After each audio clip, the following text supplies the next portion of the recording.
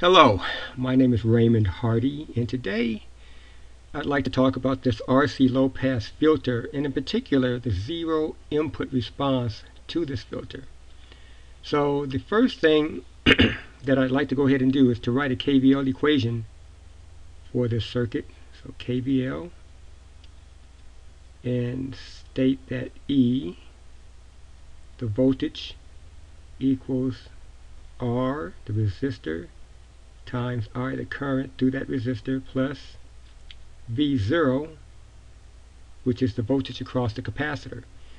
Now we can't we can't do a whole lot with this right now. We have to do some manipulation of this uh, equation. And one of the things that uh, we should know is that I, the current, is equal to the capacitor dV d0 over dt. Now this is a very common uh, equation, differential equation for the current through a capacitor. And what I would like to go ahead and do now is to go ahead and use that uh, idea and replace the I that's inside of uh, the uh, KVL equation. So why don't we go ahead and do that? So we have E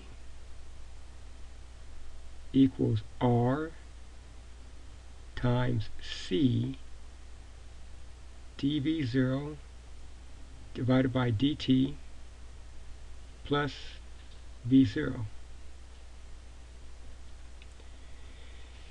Now, uh, let's go ahead and do a little bit more uh, manipulation.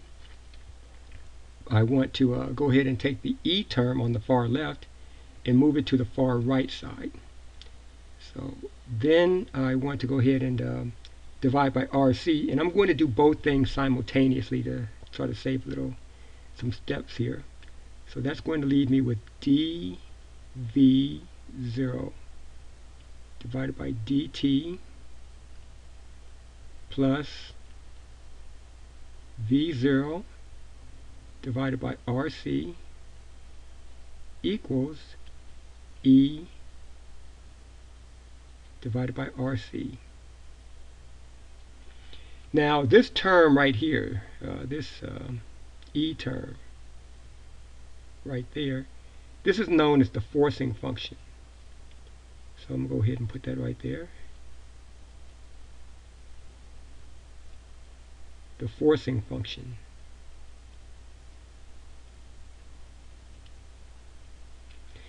Now, I want to take a look at the zero input response. And what that implies is that the uh, forcing function uh, must be 0. So let me go ahead and uh, write that in. So we have dv0 dt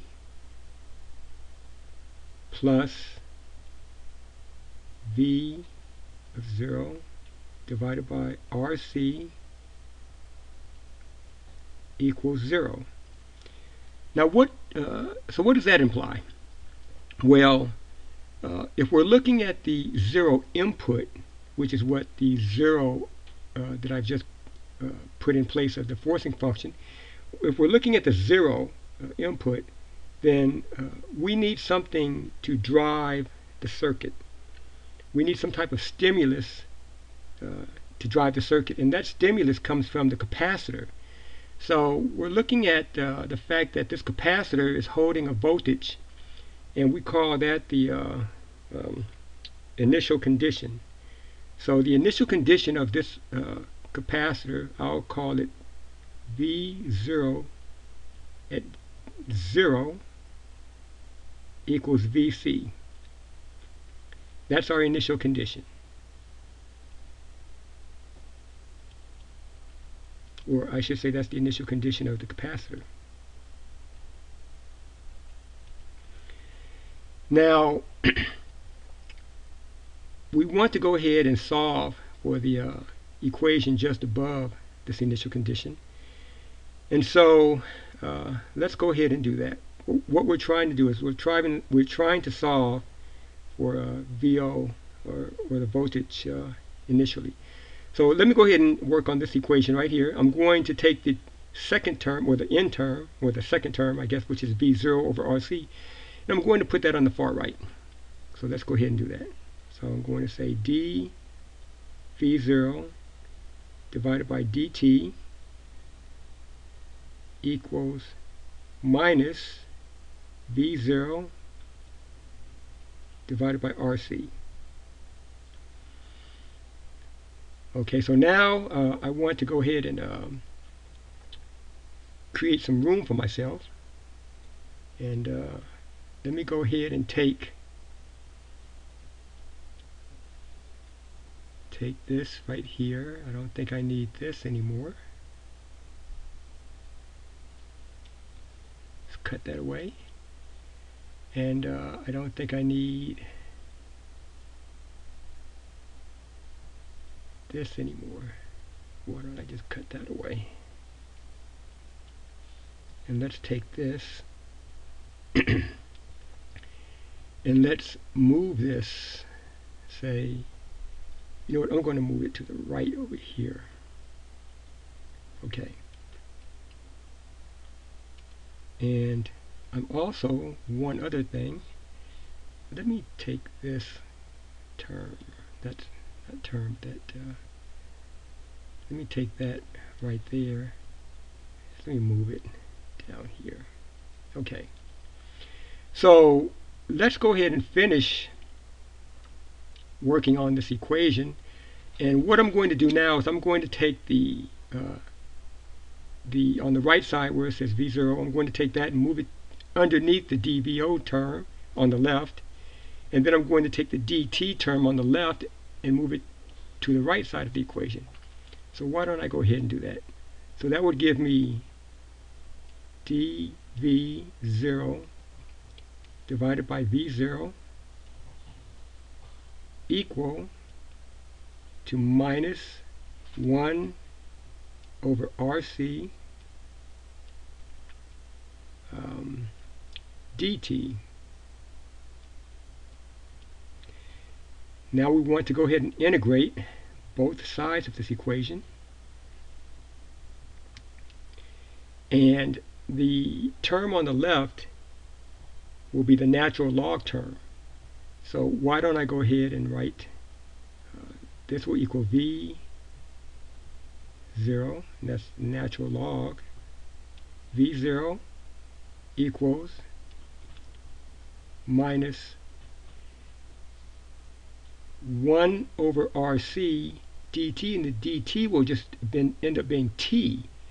And so I'm going to multiply that t times the 1, and that'll just give me t divided by RC plus a constant K. Now to get rid of the natural log term, we need to raise this entire equation uh, by the exponential function. So let's go ahead and do that. That will give me V0 equals E to the minus TRC plus K and I'll put that in parentheses. But we can express this a little a little better. Why don't we say that this will actually end up being V0 equals E to the minus TRC E to the K. Now this E to the K is nothing but another constant. And so I'm going to call that K1 and rewrite this once again as V0 equals K1 E to the minus T over RC. Okay, so I need to, uh, once again, I need to make myself some room here.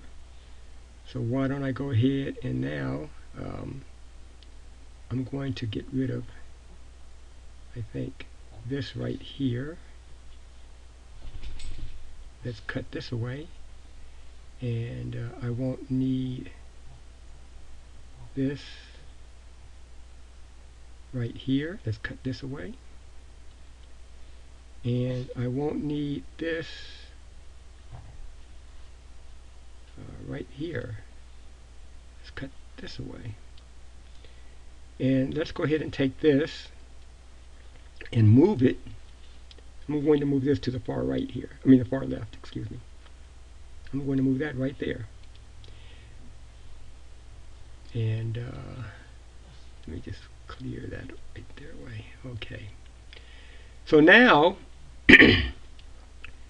we need to figure out what K1 uh, represents. So if we use the initial condition, we can say that V0 at time equals 0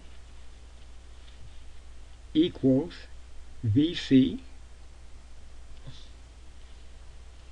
which equals K1 E to the 0 which is 1. So this ends up being uh, K1 equaling V0.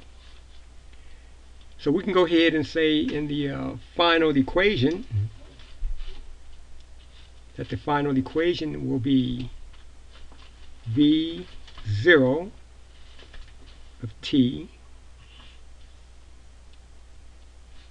equals B C E to the minus T over RC. And this is the final equation for the zero input response to the RC um, low pass filter. My next video will be for a uh, RC low pass filter again, but this time for the zero state response, which uses the forcing function and not an initial condition.